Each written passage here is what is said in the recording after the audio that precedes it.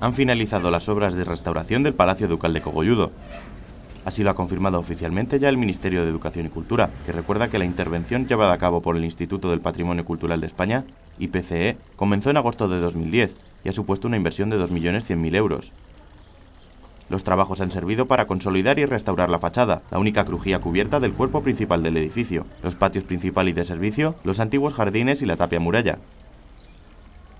Las investigaciones arqueológicas e históricas realizadas durante la intervención han aportado además información relevante sobre la estructura original del inmueble, entre los aspectos descubiertos con estas obras, se ha conocido la existencia de dos niveles en el jardín dotados de una fuente y un estanque, o la configuración de las galerías del patio principal, con dos alturas con arcos de piedra labrada y una escalera de tres tramos. El Palacio de los Duques de Medinaceli de Cogolludo es una de las primeras y más importantes manifestaciones de arquitectura civil renacentista de España. Fue diseñado y construido a finales del siglo XV, dentro de las corrientes del 480. Fue declarado bien de interés cultural en 1931